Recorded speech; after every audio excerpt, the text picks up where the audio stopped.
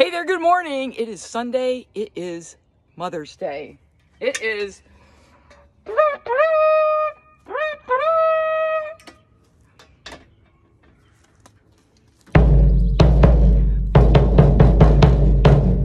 It's Mother's Day. Let's do a Mother's Day poem. Today we celebrate the VIPs on earth, all of those women who did give us birth. They carry us inside for months up to nine with the hope that when we come out, we will shine. They hold us close to protect us. It seems like their job to make that fuss. They teach us what is right from wrong in hopes we grow up to be personally strong. Mothers love us from deep in their heart. It is what we is what we know sets them apart.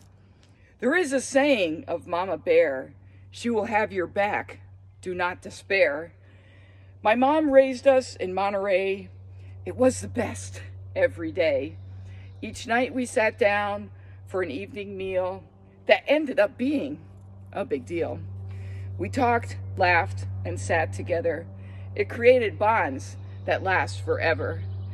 My mom has supported me all my life so I can make, move through it with little strife. So on this Mother's Day, remember that I love you in every way. Thanks, Mom. And just so you know, she won't get this video because she has an Android phone.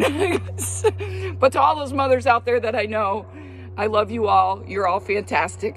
Today's weather, we got ourselves some sun, some clouds, rain moving in, in the afternoon, upper 50s. Get outside, enjoy the day, seize it. I'm out. Bye bye.